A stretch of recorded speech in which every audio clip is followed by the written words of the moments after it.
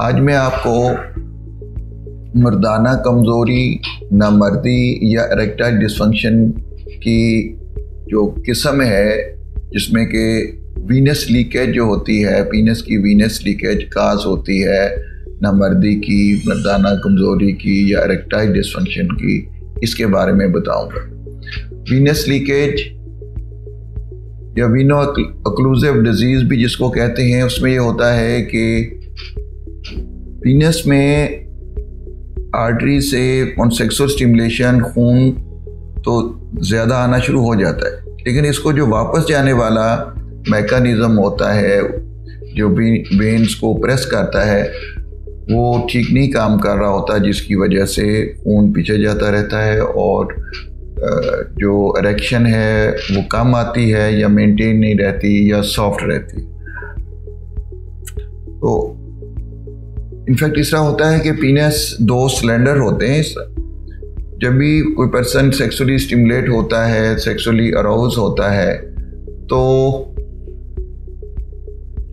Mail में human male में जो पीनस है, वो दो सिलेंडर्स होते हैं, जिसको कैवर्नस टिश्यू हम कहते हैं, या कैवर्नस साइनस कहते हैं। इसके ऊपर एक शीट होती है, टफ और उस शीट के नीचे आर्ट वेंस होती हैं, जबकि आर्टिस्ट जो खून लेके आती हैं, इन दो सिलेंडर्स के अंदर होती हैं। ऑन सेक्सुअल स्टिमुलेशन क्या होता है? ब्लड फ्लो बढ़ता है कि खून की नालियाँ खुलती हैं, जो मसल्स होते हैं पीनस के, वो रिलैक्स करते हैं। ब्लड फ्लो बड़े, ज़्यादा आने की वजह से उसमें खून जो है, वो जमा होना शुरू हो जाता है। जब ये जो दो सिलेंडर है पीनस के फैलते हैं तो इनके ऊपर एक शीट होती है। वो जब ये फैलते हैं तो वो प्रेस करना शुरू कर देती है। लेकिन जैसे ये ऊपर हाथ के भी नज़र आ रही होती हैं, ये वेन्स होती हैं जो खून वापस लेके जाती हैं। जब ये वेन प्रेस होना शुरू हो जाती हैं तो खून पीछे नहीं जाता, जबकि जो इसके अंदर होती हैं आर्टरीज वो खुली होती हैं, उसमें खून का दबाव बढ़ता रहता है। उसकी वजह से ये है कि फिर बंदे को हार्ड डायरेक्शन आती है और वो फिर अजवाजी अमल के काबल होता है। ये वीनो ऑक्लूसिव डिज़ीज़ या वीनस लीकेज में क्या होता है कि जो ऊपर शीट होती है वह मुख्तलिफ़ डिज़ीज़ की वजह से इनकम्पिटेंट हो जाती है, ख़राब हो जाती है, जिसकी वजह से वो वेंस में पीछे खून जाने वाले प्रोसेस को ठीक तरह से नहीं रोकती और पीछे खून आता रहता है। उसकी वजह से इरेक्शन कम आती है या इरेक्शन मेंटेन नहीं रहती या इरेक्शन सॉफ्ट होती है। और इसलिए ये मुख्तफ इसकी अलामत होती हैं। लेकिन क्या हर पेशेंट जिसको इरेक्शन में कमी आए, या इरेक्शन उस मेंटेन ना रहे, या सॉफ्ट इरेक्शन हो, क्या सब में ये वीनस लीकेज ही होता है? वीनस लीकेज एक बहुत रेयर डिज़ीज़ है, जो बहुत कम लोगों में होती है, जो कि एक्चुअली जिनमें ये जो ऊपर दो सिलेंडर्स की शीट होती है, उसमें डिफेक्ट आता है। बाकी एक इसके इंपॉर्टेंट रीज़न सीवियर एंगजाइटी भी होती है। अब इसका तशखीस कैसे किया जाता है कि क्या ये वीनस लीकेज जो है, ये वाकई उस पेशेंट को वीनस लीकेज है? आम तौर पे अल्ट्रासाउंड करने से कलर डॉप्लर अल्ट्रासाउंड में कि वो आर्टरीज कितनी खुलती हैं और उसमें ब्लड फ्लो कितना है और वापस जाने वाला जो है वो ब्लड फ्लो रुकता है वो एक पूरी उसकी पिक्चर आ जाती है कि उसमें कलर डॉपलर अल्ट्रासाउंड लेकिन उसकी लिमिटेशन है। मैंने बताया कि, कि इसकी इंपॉर्टेंट रीज़न सीवियर एंगजाइटी होती है जब किसी पेशेंट को ओपिनियस के अंदर ऊपर इंजेक्शन लगा के एक अल्ट्रासाउंड रूम में उसको करते हैं वो पहले ही ऑलरेडी वो स्ट्रेस्ड होता है तो वो उसको जो एंगजाइटी है उसकी वजह से ये most of time misleading report आती है।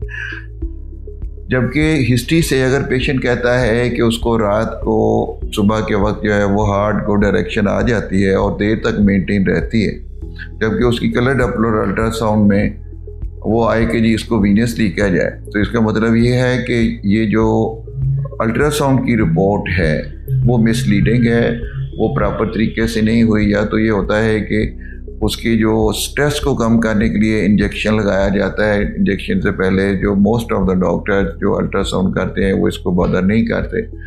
और, इस वजह से ये मिसलीडिंग इसकी रिपोर्ट्स आ जाती अब अगली बात है कि इसका इलाज क्या है। पहले तो जैसे मैंने बताया कि अगर तो ये स्वीयर एंगजाइटी की वजह हो, इसकी साइकोजेनिक रीजंस हो, उसको ट्रीट करते हैं। तो एक्चुअली तो उसमें ये होता ही नहीं है वीनस लीकेज का ज़्यादा इशू और ये ठीक हो जाती है। दूसरा ये है कि फिर जो शीट इनकम्पिटेंट हुई है, उसके ऊपर एक रबर का रिंग होता है at the base of penis वो चढ़ा देते हैं। उसमें एक वैक्यूम थेरेपी डिवाइस आती है उससे वो इरेक्शन भी लाती है, बाद में वो रबर रिंग चढ़ा देते हैं, उससे जो खून का बैक फ्लो है, वो रुक जाता है। दूसरा ये कर सकते हैं, सुनते हैं कि कोई वक्ती तौर पर ई पी डी फाइव नेप्टर्स कहते हैं, वो मेडिसिन देते हैं, जो ब्लड फ्लो को इंक्रीज़ करती हैं। जब इलेक्शन आ जाती है तो फिर उस वक्त वो रबर का रिंग ये एक इंटरनेशनली मेडिकल रिंग्स अवेलेबल होते हैं, आम नहीं होते। उसकी ख़ास साइज़ मुख्तफ होते हैं, उसकी ग्रिप डिफरेंट होती है। तो उसमें फिर ये उसको रोकते हैं। और इससे जो है, वो सक्सेसफुली वो जो उसकी इरेक्शन वो सारी चीज़ें मेंटेन रहती बाकी इसका ऑपरेशन क्या ये जो वीनस लीकेज है, इसका ऑपरेशन करा के ये ठीक हो जाती है? अमेरिकन यूरोलॉजिकल एसोसिएशन जिसकी गाइडलाइन रेक्टाइल डिसफंक्शन या इसमें वीनस लीकेज के बारे में ये है कि सर्जरी इसमें कामयाब नहीं है, उसके अच्छे रिज़ल्ट नहीं है, और सी लेवल का एविडेंस है कि अगर ये कुछ करती है। लास्ट ये होता है कि अगर पीनस वीनस लीकेज की रीज़न पेरोनिस डिज़ीज़ है, जिसमें अंदर फाइब्रोसिस हो जाती है, या बेंडिंग हो जाती है, कि वीनस लीकेज के साथ पीनस की डिफॉर्मिटी भी है, और वो जो कैवर्नस टिश्यू है, जिसमें आगे ब्लड भरता है, वो ज़्यादा ख़राब हो गए। तो फिर होता है कि प्रोस्थीसिस डाला जाए अगर पीनस की जो कैवर्नस साइनस है, ये जो दो सिलेंडर्स हैं, वो ठीक हैं। सिर्फ़ ऊपर जो शीट है, वो इनकम्पिटेंट हुई है और उसमें इरेक्शन जो है आने में मुश्किल नहीं होती कि ब्लड वहाँ बढ़ता है, लेकिन पीछे जाने से रुकता ही है ना तो तो वो तो रिंग से रुक जाता है। तो इसलिए इन केसेस में बिल्कुल सर्जरी के ऑप्शन पे नहीं जाना चाहिए। ये मेडिकल ट्रीटमेंट से बिल्कुल ठीक हो जाते हैं। और प्रोस्थीसिस ये होता है कि आपके नेचुरल पीनस को तो वो ख़त्म कर देते हैं सिलेंडर्स को और उसमें मसनू डाल देते हैं प्रोस्थीसिस दो तरह के होते हैं। एक सेमी रिजड होता है और एक इन्फ्लेटेबल होता है कि उसमें रिजर्वायर टेस्टिस के अंदर लगाते हैं और वो कर। लेकिन वो आखिरी इलाज होता है कि जब आपका पीनस उसके सिलेंडर्स इस काबल ना रहे कि उसमें आके खून भरे। उसमें फाइब्रोसिस हो जाती है, उन, उनका फ़ंक्शंस खून आके जमा होना बहुत कम हो जाता है, जिसकी वजह से हार्डनिंग और पीनस नहीं होती। अगर पीछे खून जाने से रोक भी जाए तो फिर भी क्योंकि इसमें ब्लड भरेगा ही नहीं। जैसे जल्द पे को जख्म लगने से जो स्कार या खिंड जिसको कहते हैं बनता है, वो नॉर्मल स्किन से डिफरेंट होता है। इस तरह इसके अंदर वो स्कारिंग हो जाती है खिंड बन जाता है और फिर वहाँ आके ब्लड नहीं भरता। It is only that case कि यहाँ इसकी सर्जरी के इसको आप प्रोस्थीसिस डाल दें। लेकिन मेक श्योर हंड्रेड परसेंट कि जब तक ये सिलेंडर्स में आके खून भरता है, ये सॉफ्ट हैं, हाथ से देखने से पता चल जाता है कि इसके अंदर गिल्टी बनी हुई है या नहीं बनी हुई। है डॉक्टर जब देखता है, मरीज़ खुद भी देख सकता है।